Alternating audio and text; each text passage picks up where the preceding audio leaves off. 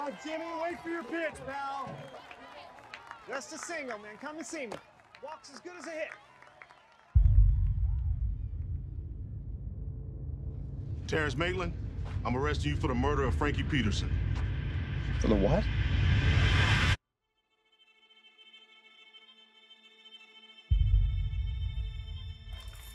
I'm as baffled by this conflicting evidence as you are.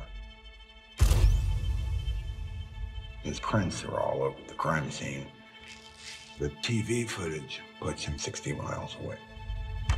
He can't have been in two places at once.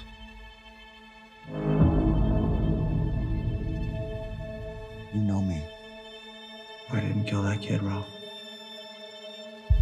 Do you see how strange this is? What would make someone do such a thing? He didn't do it. I have no tolerance for the unexplainable. Well then, sir, you'll have no tolerance for me. Answer me this. Do you think Terry Maitland killed that boy? If he didn't do it, someone else did. Someone else did. Someone else did.